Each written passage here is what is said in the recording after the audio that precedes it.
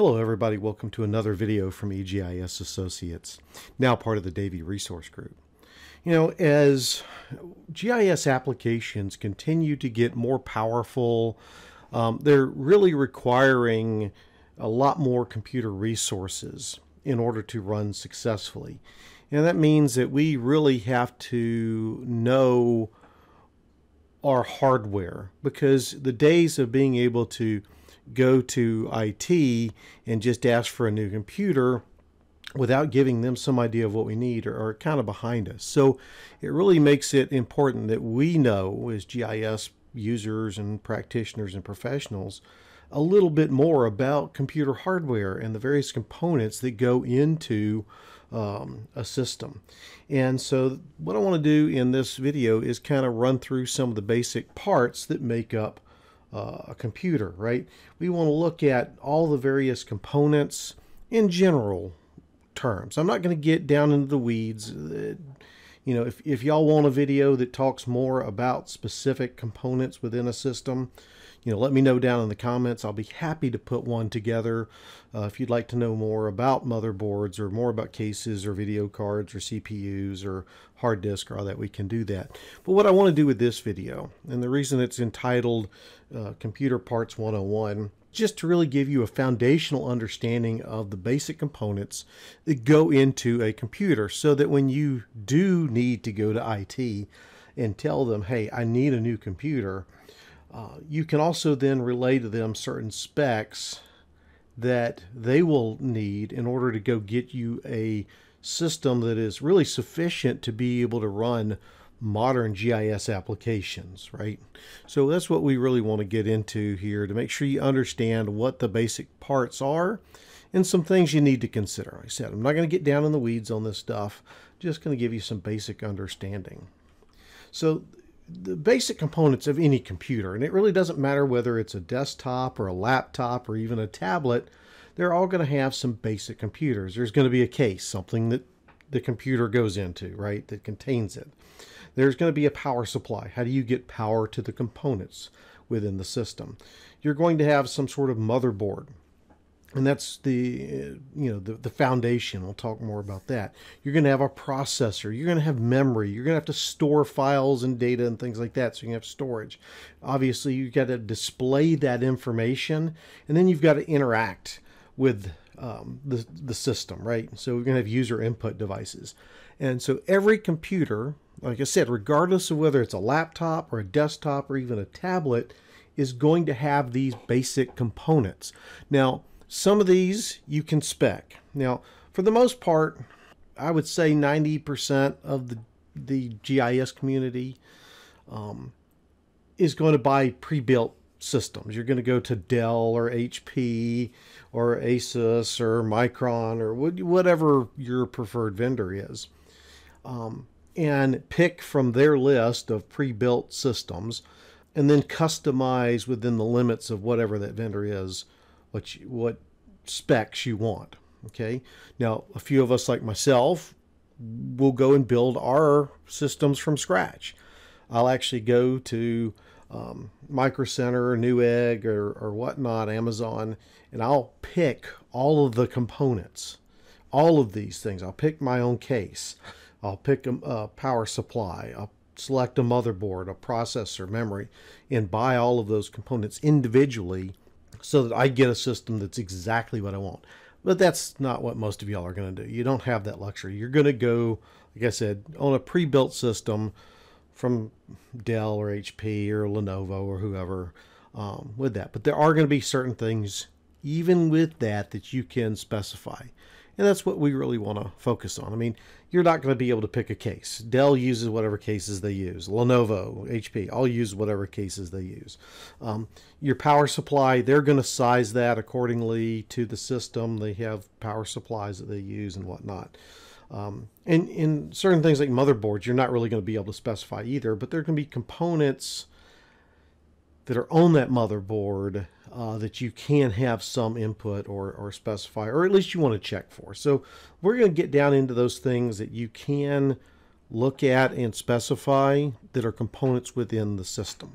So we're going to go ahead and start with the, the motherboard, right? So the motherboard is the foundation of your computer, right?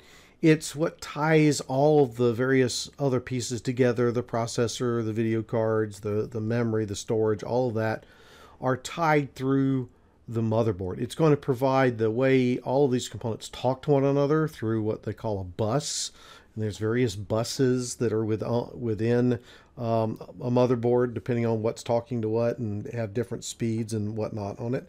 Again, I'm not going to get down into all of that. You can see here's a good example of a, a motherboard. This is actually the motherboard that's uh, currently in my computer uh, that I built. So you're going to have like these slots that are right in here.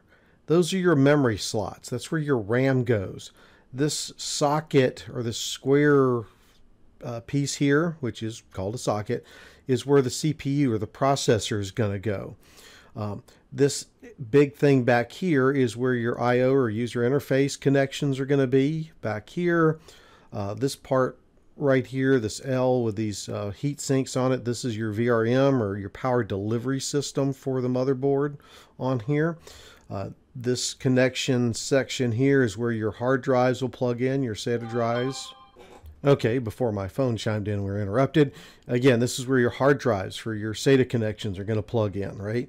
These slots that are here are for various cards, like your video card or video capture cards or network cards or whatever other um, uh, expansions you want to put into your computer will go here. Uh, then you'll have other various connections around for things like USB ports, uh, for your front panel on your computer case, uh, for sound, whatnot. And then this little uh, thing right here is uh, a, actually a battery that goes on to the motherboard. And that battery keeps power to the motherboard, so things like your time, uh, your other various settings that are in your BIOS, which is like the operating system for the motherboard, are uh, maintained so you don't lose those settings when you lose power. So that's the little, it's like a watch battery type thing, right? So this is your motherboard. Again, the foundation for your computer. Now, again, if you're buying pre-built systems, you're not going to be able to specify which motherboard. But the things you do want to look at are, are like what type of memory is supported. Is it DDR4? Is it DDR3? Um, what's the maximum amount of memory it supports, right? Does it support 32 gigabytes, 64, 128 or more?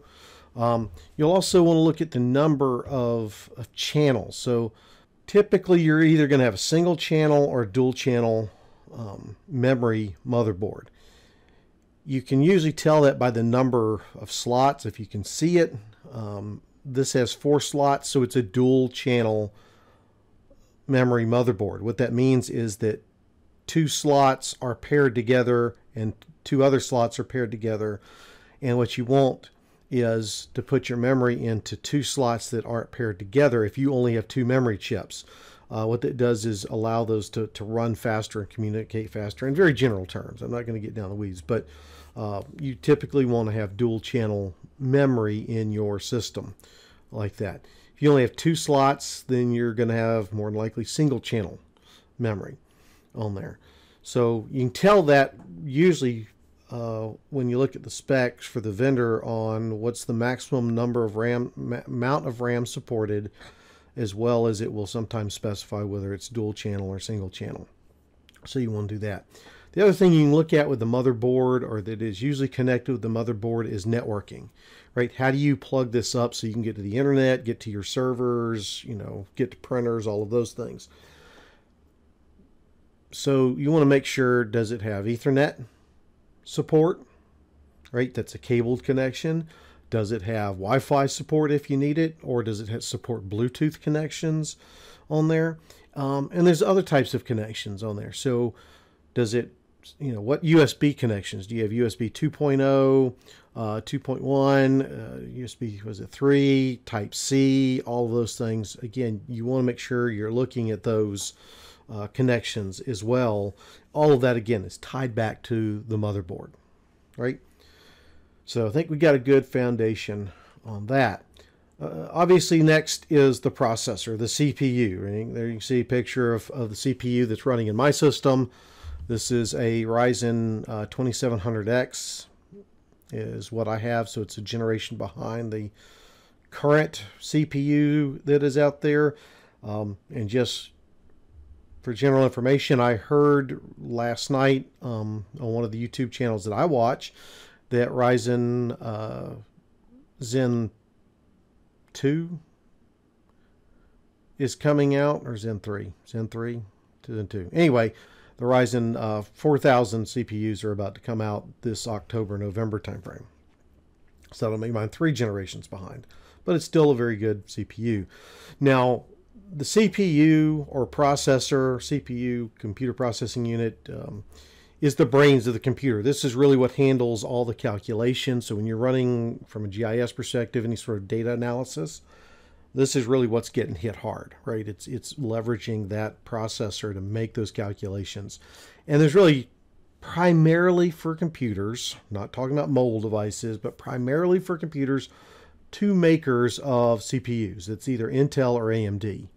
Um, there is maybe a couple other smaller ones, but the, the main ones are Intel and AMD. They both make very good processors. Yes, I have a Ryzen, which is from AMD here, but that's not to say that you wouldn't get as good or uh, better performance out of an Intel. Um, the new chips that are all making are pretty uh, amazing. So when you go to pick, um, since it really, from a GIS perspective, shouldn't matter necessarily whether it's Intel or AMD, um, there's other things you got to consider. So first is the number of cores and threads. So when you look at a CPU, um, it's going to list the number of cores. And really what you need to think of is cores is kind of like, um, what's the word I want to look at? Mini processors on the main processor, right? So if you see uh, dual core, that means it's got like two mini processors. Quad core, four. But nowadays with some of these chips, like uh, my Ryzen 2700X, I think is a six core processor. So it's got six mini processors. Um, now, threads you can think of is kind of like the pipelines into those cores, right? The pathways to transfer data in and out. And so you're either going to have um, a, a single thread processor or a hyper threaded processor. So when you get hyper threaded, that means you're going to have multiple threads going into each one of those cores. Um, typically, it's two. So my the Ryzen you see here as I said, I think it has six cores, but it's got 12 threads, meaning each core has two pathways into it, um, which means it can process that much more data in there. Whereas a single core or a single thread CPU uh, would only have, if it's six cores, it's got six threads. So that limits um, the amount of data transfer through there. Uh, you think, well, if that's the case, why aren't all CPUs uh, hyper-threaded? Well, it's because it wasn't until very recently that programs, applications, were really set up to utilize that hyper-threaded capability. So, for example, if you're running ArcMap from Esri, it's not set up to really utilize a hyper-threaded CPU. It, it when it was written, those didn't exist, so you don't get a lot more uh, performance with a hyper-threaded CPU than you would with a single-threaded CPU. However, ArcGIS Pro is written uh, with hyper-threading in mind, so you will get better performance if you're running Arc Pro with a hyper-threaded CPU. Matter of fact, it's what Esri recommends you run with Arc Pro. So that is something to consider. If, you, if you're just running ArcMap and you don't anticipate running Pro or any other uh, type of application that would support hyper-threading, then going with a single uh, single threaded uh, CPU would be perfectly fine. Uh, might even be a little cheaper, uh, but again, something to look at. The other thing you will look at is the clock speed, which is really how fast those cores are able to process data. So the higher the clock speed, the faster it's going to, to look uh, work. Um, I know there's some uh, processors that can get up to, was it 5 gigahertz uh, on the clock speeds. Um, that usually requires some overclocking and things. But anyway, we don't get into that. Uh, so, but you're probably looking more along lines with current CPUs at a, a four, 3.8 to 4.1 gigahertz clock speed uh, would be good. Um, and then lastly is cache. So on the CPU, there is memory that the processors, those cores are using as it's doing calculations and having to read and write values. It initially writes it to that cache. So it's going to write it off to the cache, which is very high speed memory that's on the CPU. So you want to look at that. The more cache you have on the CPU, the, the better performance is going to be. So that's something to keep in mind. Which then brings us into the memory for the computer, right? So we have cache on the CPU, but then we're going to have RAM or random access memory that we put into the computer. Okay, and this is once the CPU has filled up the cache, it starts writing things to RAM. And so um, as it's doing those calculations and it pushes off into RAM, it's, it's going to be there. Also applications like your, your Arc Maps and your Arc Pros and Adobe Photoshop, whatever, are also when you launch them, that's going to write some information into the RAM. Anything that it needs to get to quickly, it's going to write into RAM. So here's a couple of RAM sticks. You can see these. This is the RAM that uh, um, I first had on my system. Uh, these are two 8 gigabyte sticks or memory modules that are, are slotted in the uh, the slots that we were talking about earlier. And so for for GIS purposes, I wouldn't go with a system that had less than 16 gigabytes of RAM. If you're just doing web surfing, Word, Excel, um, Office type applications, and you can probably get by with only 8 gigabytes of RAM. I wouldn't go anything less than 8 gig in today's environment with all the stuff that we do on computers. Uh, but for GIS, 16 is the minimum. I've now upped my original 16 to 32 gigs of RAM. So, again, the more the better. I, say that, but I need to caveat it to some extent. If you're running ArcMap, ArcMap is an older 32 bit application. Um, it was originally written in 1999, right? A lot has changed since then. So, what that means being 32 bit is it can only use up to 4 gigabytes of RAM. Now, that doesn't mean you need to get a system with only 4 gigs of RAM in it because you've got things like your operating system and other apps that'll also eat up RAM. So again, if you're only running ArcMap and ArcCatalog, not using ArcScene or ArcGlobe, um, then 8 gig might be enough for you.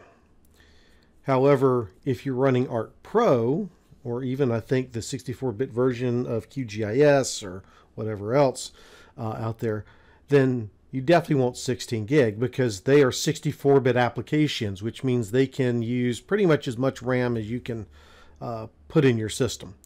So the the more RAM you have, the better, to an extent. Um, like I said, for most people, if you're just doing basic uh, GIS work, like with vector maps, um, working in 2D, then 16 is probably good enough. If you're going to start getting into things with 3D rendering, working with LiDAR data, uh, or um, any sort of other 3D information, big raster sets or huge vector sets, then again, you want to go um, over 16. It really just depends on what you're doing. So keep that in mind. Um, again, I wouldn't go less than 16 on any GIS computer I was getting nowadays.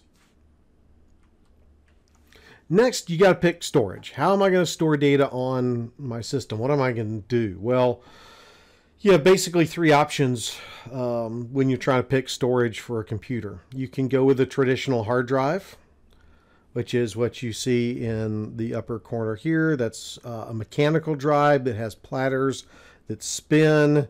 Um, that's the kind of hard drive that we've been using pretty much since the x86 came out. Okay. Um, more recently, we've had SSDs come out or solid state drives. And even in these, you've got two types. You've got this traditional SATA drive that's about the size uh, of a credit card, a little bit bigger. It's like two and a half inches um, wide on there. They're pretty small, compact, really thin, um, and have very good data transfer speeds. They're they're much faster. They're easily two, three, or more times as fast as a traditional hard drive. Uh, even if you go with a 10,000 RPM hard drive. Uh, if you do go with a, a, traditional hard drive for GIS, I wouldn't go anything less than a 7200 RPM hard drive if it's going to be one of your primary drives, uh, drive that you're booting your system off of, drive that you're going to be accessing data from, running applications on. I wouldn't go less than 7200. If you can go up to 10,000, that's even better because that really deals with the uh, data access times, reads, write speeds, and all that that go uh, with that. So the more RPMs, the, the faster the drive is going to perform with that. The, the newest type of drive we have is a PCIe NVMe drive. And you see that uh, down here in this uh, lower right corner. It actually looks more like just a memory chip. And um, they're extremely fast. They're tied directly into the bus of your motherboard. It plugs right into a slot. You can see right here that's tied in the motherboard exceedingly fast, even faster than the SATA SSDs here. So they're really good uh, for using as a boot drive. And matter of fact, I should mention you can mix and match these. Matter of fact, what you see here is pretty much all the drives I have on my uh, system, on my computer right? So I have this NVMe drive here that is my boot drive. That's what uh, my OS, being Windows 10, is loaded on. It's what all of my uh, GIS programs are loaded on. Um, a few games are loaded on there, right? So that's what I use to boot. And my system boots exceedingly fast. I mean, it's within a couple of seconds, it's up and running. Um, much faster than what I had before. Then I have my SATA SSD drive that I put most of my data on. Right? Uh, it's very, it's still fast, not as fast as this one, but it's pretty fast, and it works with getting data on off. I do a lot of my video editing for YouTube and stuff through that drive. Again, because the the speeds are, are are very quick. Then any other things that I need to I don't access all that often or all the time, but I need to access somewhat frequently, like uh, photos that I use in videos, uh, old data sets that I only reference every now and then. I put off on my traditional hard drive. I have a 7200 RPM uh, Western Digital. It's a two terabyte drive there, right? So I've got this 250 uh, gig SATA drive is my working drive. I have a 500 gig NVMe drive for my boot disk and programs, and then set the traditional uh, hard drive for uh, quasi archiving, right? So it is possible to mix and match drives within a computer. Um, if you're trying to spec a new computer out, I would suggest uh, for GIS that at least you make sure your boot drive is some SSD, preferably an NVMe drive. Um, if you can't get that, then a SATA SSD um, is, is pretty good. Certainly better than a traditional hard drive. If you do have no choice but to go with a traditional hard drive, then again, the faster the RPMs, the or the more RPMs, the the better on that. Okay, so these are some of the options you have. Uh, again, preference would be given to any sort of SSD, with the NVMe being my first choice. They are not always cheap. Uh, certainly more expensive than the traditional SATA SSDs that are out there because those have been out for a while. So technology has come a long way and, and come the prices have come way down with the NVMe's being relatively new by comparison. So they're a little bit more expensive, uh, but well worth it. Like I said, the times on those are just phenomenal. If you go from a traditional hard drive to an NVMe boot drive on your computer, you're going to be blown away. I mean, you're just going to be amazed at the capabilities there. So, of course, the next part of, of that is the display. Being GIS, we're very graphic oriented with maps and charts and things. So, display is a key component of our computers. And this is really made up of usually two components if we're talking a desktop right? We're going to have a monitor and we're going to have some sort of, of graphics uh, capability, gets the display from the computer to the monitor, right? Um, when we're looking at that, we're looking at either integrated graphics or a dedicated GPU, okay? or graphics processing unit. That's what GPU stands for. You may think of it as a video card, a graphics card, whatever you want to call it. For GIS purposes, I would not go with integrated graphics. And what that is, um, it's where the, the CPU and the RAM on your computer are also doing all the graphics processing, the, what you see on your screen. So every time you pan and zoom, those resources are being pulled away from other things and being used to redirect and show whatever it is that you need to look at on your screen. You really want, especially if you're using some of the more modern GIS applications like ArcGIS Pro or whatnot, a dedicated graphics card, a dedicated GPU. Um, it can be AMD, it can be NVIDIA. Intel is working on some that are supposed to be coming soon, probably next year. Not very impressed with what I've seen on those, but either AMD or NVIDIA right now are going to be your best bet. Uh, both of them are launching brand new uh, cards, a whole new generation of cards coming up here the uh, last quarter of 2020. So look at look for those um, to be coming out soon. They're going to really ramp up performance, built on whole new architectures. So they're going to take graphics to a whole new level. Uh, both of these uh, that are coming out soon, and the costs are coming down on what their previous generation was. But that also means all the previous generation stuff, which is all very good, um, will also be coming down. You'll be able to find a lot of those on the used market and things. Which, or if you're going with a pre-built system, uh, they they should be offering the second gener or the previous generation stuff at a discounted price too. So that should help drive those down. So when you're looking at um, video uh, display for a, a, dedicated graphics card, what do you, you want to look at? Well, first thing um, is the, what connections, right? If you've already got a monitor, and most of us, we're going to keep a monitor until it dies because we're not gamers. We don't really care about, you know, response times and super resolutions. You know, we don't need 8K. So we're going to keep a monitor pretty much till it dies. At least that's been my experience um, here matter of fact, this is this is my monitor here. I can tell you what I, paid for that. I'm not giving that a getting rid of that anytime soon. It's an ultra wide. It's a 43 inch curved Samsung monitor. Anyway, so what kind of connections? Is it VGA? Is your monitor so old that you've got to use a VGA connection? That's the the is it oblong looking connector that's wide, has multiple pins in it. Uh, is it DVI? Connection. So that's a little bit bigger than a VGA. It's got flat connections instead of round pins on it. Um, so is that what you need? Or do you have HDMI?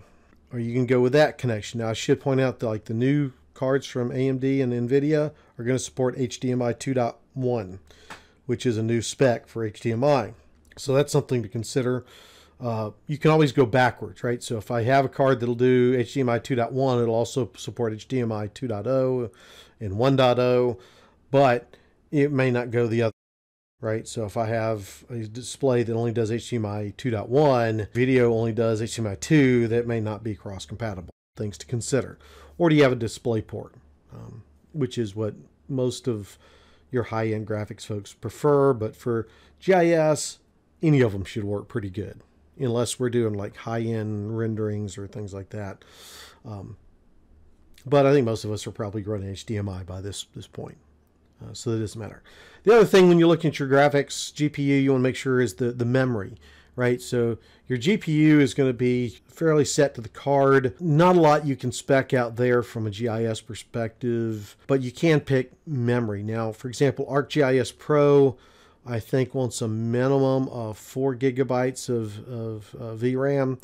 Uh, six is recommended. So that's what you want to do. I'm currently running an NVIDIA uh, RTX 2070 Super, which I think has six gigabytes of DDR6 memory on it. I think I could be wrong on that. I'll try to verify, and if I'm wrong, I'll put up something to correct myself.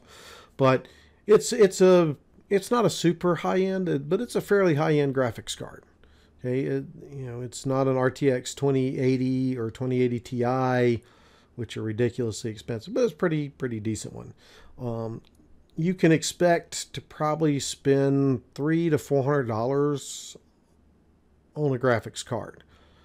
Um, and that'll be in, put into the price, obviously, if you're buying a pre-built system. Um, but you know, some of those cards can go upwards of 12 14 15 2000 dollars um, especially if you start getting into the professional workstation level uh, cards uh, up there so um, just you know keep that in mind you definitely want to have one they're going to really improve how you display. I said avoid integrated graphics. You really don't want that. It just it slows your system down. It pulls resources. In GIS, you really want a dedicated GPU, and of course, a pretty decent monitor. Um, I run well. I'm running two monitors. You can see the big one there on the screen. I also have a secondary 27-inch monitor that I also run um, next to it. So I've got plenty of screen real estate, which is important when we're doing GIS as well as video editing and things of those nature. So I want to make sure we do that. So there you have it. Those are the basic components that you'll find in any computer system. So hopefully it's helped you kind of get a better idea of what some of the pieces and parts are and what's important. Um, I kept this very high level. I didn't want to go do a deep dive into each one of these. I could do an individual video about each one of these components and the pieces and parts that make up the components and whatnot. And if that is something you'd like to see, by all means, um, let me know. If you'd like some other comparisons between, say, manufacturers uh, like Intel or AMD uh, GPU, CPUs, um, yeah, whatever you want to see, I, you know, I'll be happy to do that. Just let me know about that in in the comments. So don't want to forget to throw a quick plug in here for my latest uh, ArcGIS Pro book, Learning ArcGIS Pro 2. It's the second edition of my first book, Learning ArcGIS Pro. So all the screen captures have been updated, workflows have been updated to the current version of Arc Pro, the 2.6 version. So um, it's available through Packt Publishing or on Amazon. I'm sure you can find it through other online bookstores. So please take the time to go look it, get it, buy it, love it, and whatnot. So uh, with that, you know, if we can help you out with anything GIS related, please feel free to reach out, whether that's enterprise implementation or systems integration between GIS and other solutions. Uh, if you're trying to figure out, gosh, we, we need to upgrade. We're running ArcMap. Uh, we're still on, you know, 10.3 and we really need to start looking at going to pro and we want to implement ArcGIS Enterprise and want to do more with Arc Online. And how do we do that? How do we make that happen? We can put together a strategic plan, do a needs assessment for you to really get you down the right path to, to make that a successful um, expansion of your, your system and upgrade. Uh, maybe you have a new project coming up and you don't have enough staff, or maybe you just don't have the expertise in house for certain components of it. We can help you out there with either on site staff. Mm, with the COVID stuff's a little hinky right now, but um, hopefully, when that dies down, we can do that. But certainly, remote services, we can do that. Whether you need help with updating data, uh, map creation, analysis, even creating custom applications, or um, you know, whatever it is, we can can help you there. And of course, if you need any sort of training, maybe you're already moving to Arc Pro, and you need to get your staff trained up on how to use it to migrate uh, their skills from ArcMap to Arc Pro. We can do that for you. If you just want a safety net, um, in case something happens and you're you know you can't get your map document to load or maybe your arc server services won't start and you just want to be able to pick up the phone and call someone and get help. We can do that for you as well. We provide uh, on-site remote tech support services um, as, as well. So feel free to reach out to us uh, www.egisassociates.com or give us a call at 678 710 9710 or email us at info at egisassociates.com. Um, if you have any questions, you need any help, you want to know more about services, or heck, if you just want to talk, um, we'd love to hear from you. So, with that, I uh, hope you liked the video. Hope it's been helpful. If it was helpful, give it a thumbs up. If it wasn't helpful, I guess you give it a thumbs down. Please make sure you subscribe to the channel um, and hit the notification bell. That way, anytime we post a new video, you'll know when it comes out. And um, with that, uh, we look forward to seeing you in the next video.